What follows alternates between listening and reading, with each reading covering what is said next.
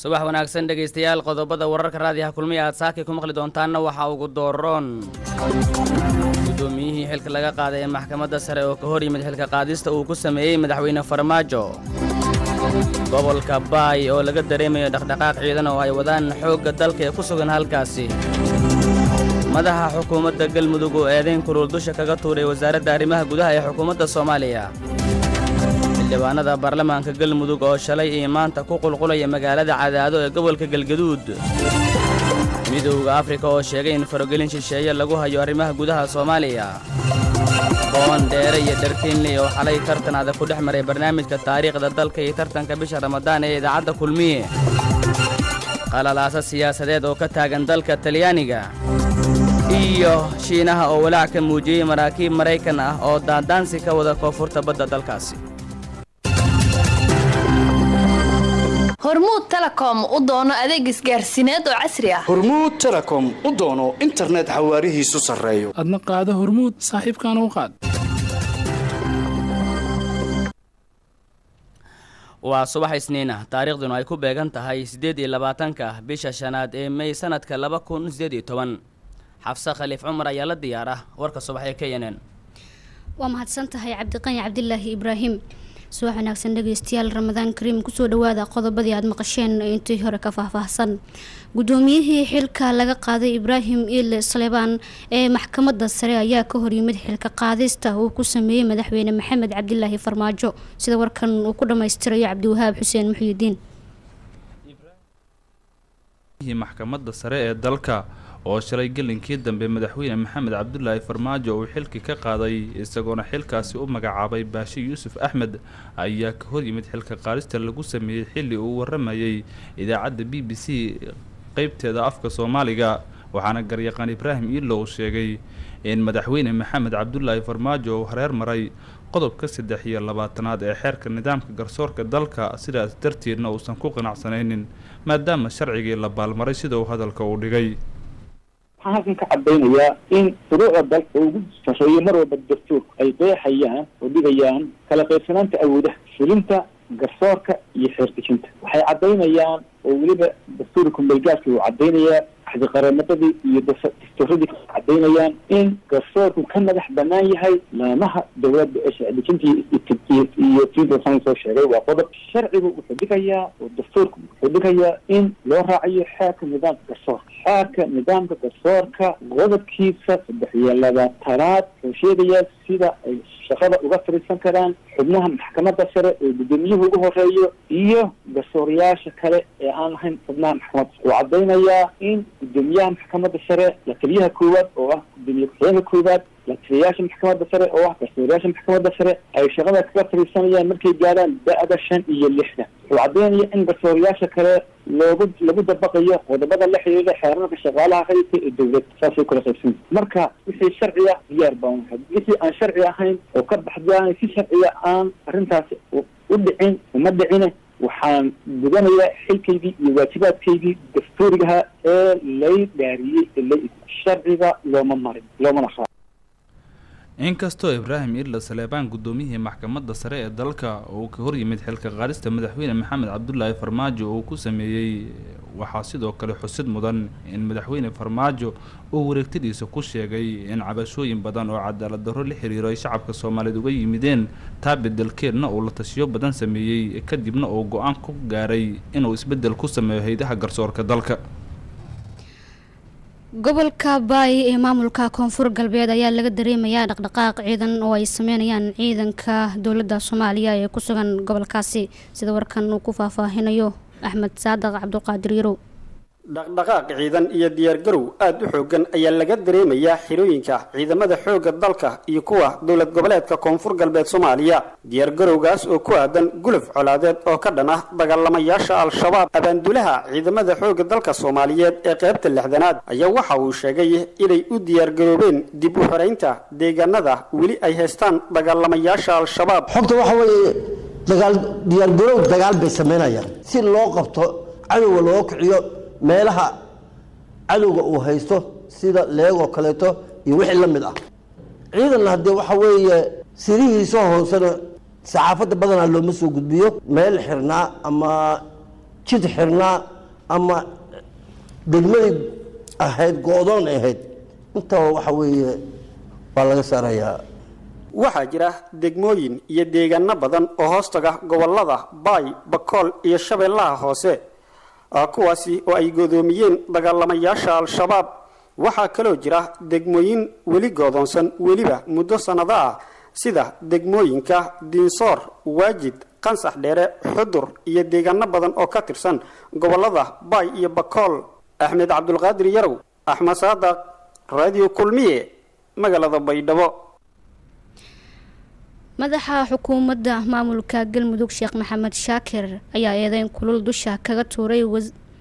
wasaaradda arrimaha gudaha ee xukuumadda soomaaliya. Axmed maxamed ibraahim ayaa warkan dhamaystiraya sheekh maxamed shaakir cali xasan madaxa xukuumadda galmudug ayaa war-saxaafadeed uu soo saaray wuxuu aada ugu dhaliilay. Wasaaradda arrimaha gudaha ee xukuumadda soomaaliya oo maalin ka hore shir lagu heshiisiinayo madaxda galmudug iskugu yeertay gudaha magaalada muqdisho madaxa xukuumadda galmudug sheekh shaakir ayaa ugu horeyn waxa uu sheegay in wasaaradda arrimaha gudaha ay ka muuqato xilgudasho la'aan oo uu ku sheegay inaysan jirin khilaaf u dhexeeya madaxda galmudug iyo sidoo kale halsuuna iyo galmudug madaxweyne ku-xigeenka maamulkaasi maxamed xaashi carabi iyo gudoomiyaha baarlamaanka maamulkaasi cali gacar casir ayuu ku tilmaamay kuwa hareer maray nidaamka loo baahnaa ee u degan galmuduga. Sheekh maxamed shaakir ayaa war-saxaafadeedkiisa waxa uu ku sheegay in heshiiska galmudug iyo halsuuna uu dhaqangalay soona maray hareer kala duwan islamarkaana aan la joogin xili la yiraahdo waxaa la dhammaystirayaa heshiiska galmudug iyo ahlusunna. Ugu dambeyntii waxa uu tilmaamay inay jiraan dad isku dayaya carqaladeynta heshiiskaasi oo soo maray marxado kala duwan ayuu hadalkiisa sii raaciyay. Sheekh shaakir dhinaca kalena khilaafka maamulka galmudug wararka ku saabsan ayaynu ku guda jirnaayee xildhibaanada baarlamaanka galmudug ayaa shalay iyo maanta ku qulqulaya magaalada cadaado ee gobolka galguduud oo ah xarunta baarlamaanka maamulkaasi. Warkan waxaa galguduud ka soo diray shaafici shariif maxamuud waxaa shalay soo gaaray magaalada cadaado ee xarunta baarlamaanka maamulka galmudug xubno ka tirsan xildhibaanada maamulka galmudug kuwaasi oo sheegay inay ku yimaadeen amarka gudoomiyaha baarlamaanka ee ahaa in xildhibaanadii hore ee galmudug oo ahaa siddeetan iyo sagaal xildhibaan ay soo xaadiraan. Magaalada cadaado oo ah xarunta baarlamaanka galmudug. Waxay amaatinkeenu maanta uu ahaa saddex qodob inaan xaruntii baarlamaanka galmudug aan nimid. Ajiibidii wicitaankii uu wacay gudoomiyaha baarlamaanku maalihii talaadada ah baarlamaanka inaan soo ajiibnay maanta waxaan ku soconnay xildhibaano koox ah dabcan waxaan rajay doonnaa beryaha soo socda inay sidoo kale imaan doonaan xildhibaano kale galmudug waxaan rajaynaynaa dhammaan maanta xildhibaanada kale in mardhow ayna soo gaaraan iyagana maalmaha soo socda ay soo galaan. Waxaan rajaynaa waajibaadkan iyo shaqo aan u imaanay oo dowladda ee noo idmatayna maaragtay in aan gudano waxaan rajaynaynaa insha allah in maaragtay galmudug markaan guul ay ku dhammaan doonto xaaladdan maanta ayaa la filayaa inta badan xildhibaanada baarlamaanka maamulka galmudug in ay yimaadaan magaalada cadaado ee xarunta baarlamaanka galmudug. Halkaasi oo maalinimada talaadada la qorsheynayo in lagu qabto kulan ay yeelanayaan baarlamaanka galmudug kaasi oo aan la shaacinin ajendaha looga hadli doono. Hase ahaatee ay u badan tahay in looga hadlo arrimaha khilaafka ee maamulka galmudug maadaama ay madaxdu ku kala qaybsameen arrimaha iskudarka maamuladii galmudug iyo ahlu sunna. Shaafici shariif maxamuud raadiyo kulmiye cadaado midowda afrika ayaa ka dhawaajiyey in faragelin shisheeye lagu hayo arrimaha gudaha soomaaliya. Saciid warsame sabriye ayaa warkan dhammaystiraya. Gudoomiyaha ururka midowda afrika muuse faki maxamed oo shalay axadeed ka hadlayay xarunta midowda afrika ee adisababa ku taalla ayaa sheegay in soomaaliya ay wajahayso xaalado faragelin qaawan oo ay wadaan sida uu sheegay gudoomiyihii wadamo aan afrikaan ahayn. Muuse faki maxamed ayaa walaa xoogan waxa uu ka muujiyey faragelinta lagu hayo arrimaha gudaha soomaaliya wuxuuna tilmaamay gudoomiyuhu in dhibaatooyinka faragelinta ee dalka lagu hayo ay saameyn xoogan ku yeelan karaan arrimaha amniga dhaqaalaha iyo xasiloonida siyaasadeed ee dalka ka jirta. Warkan ayaa waxaa lagu sheegay war-saxaafadeed ay si wada jira u soo saareen kadib kulan ku dhex maray xarunta midowda afrika ee adisababa ra'iisul wasaaraha soomaaliya xasan cali khayre iyo gudoomiyaha midowda afrika muuse faki maxamed. Hadalka ka soo yeeray guddoonka midowda afrika ayaa ku soo aadaya iyada oo soomaaliya ay la liicliicayso saameynta taban ee kaga timid khilaafka u dhexeeya waddamada gacanka. Waxaana ugu dambeysay khilaaf xoogan oo soo kala dhex galay waddamada soomaaliya iyo imaaraadka taa oo keentay in guud ahaanba imaaraadka uu isaga guuro soomaaliya habeenkii laba-iyo tobanaad ayaa idaacadda kulmiye waxaa ka baxay barnaamijka taariikhda dalka iyo tartanka degmooyinka gobolka banaadir waxaana xalay ku loolamay degmooyinka boondheere iyo dharkeeley waxaa warkan ka diyaariyey ciidiid cabdiraxmaan aadan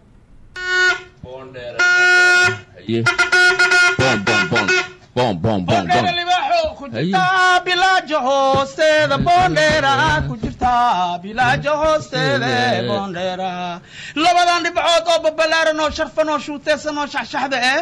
waxaan dhigaa xuduudda boondheere iyo bilaaja dhexdood habeenkii labiyo tobnaad ee barnaamijka taariikhda dalka iyo tartanka degmooyinka ay qabato idaacadda kulmiye ee magaalada muqdisho waxaa isaga hor yimid degmooyinka boondheere iyo dharkeenley oo uu dhex maray tartan aad u qurux badan. Degmada boondheere ayaa guul ka gaartay kulankii ay la qaadatay dhiggeeda dharkeenley kadib markii labada degmaba ay soo bandhigeen aqoon dheeraada.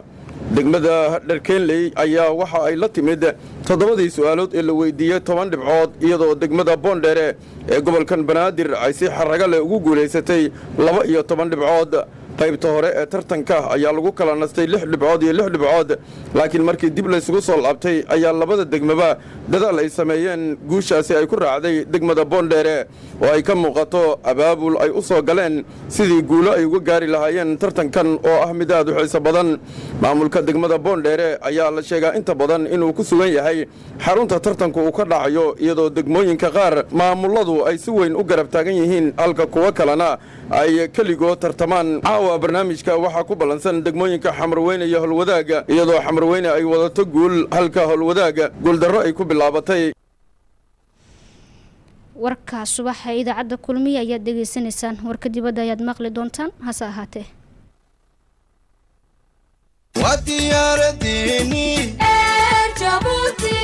duulimaad raaxa leh degdegsiimaya ammaano. Ayr jabuuti u doono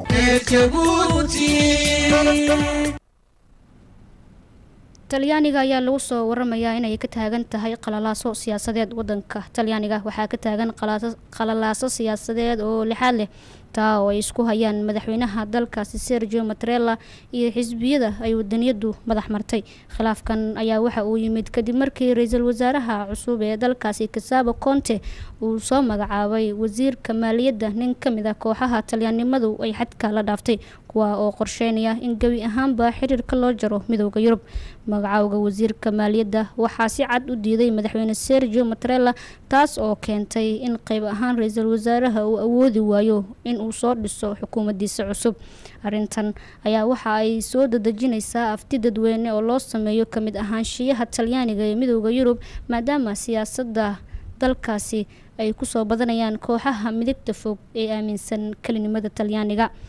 ugu dambeyntiina shiinaha ayaa walaac ka muujiyey maraakiib mareykan ah oo daandaansi ka wada koonfurta badda shiinaha. Maraakiib laga leeyahay wadanka mareykanka ayaa waxaa la sheegayaa in ay soo galeen badda koonfureed ee shiinaha oo dalkaasi u sheegto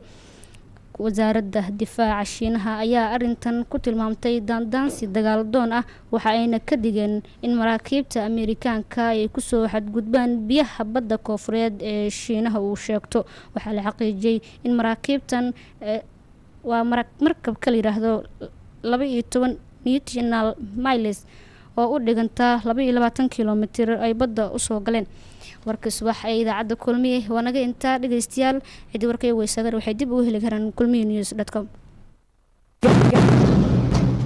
Xagee ka dhaca qarax qalbiyada islaamku ka dhex dhacay qaraxaas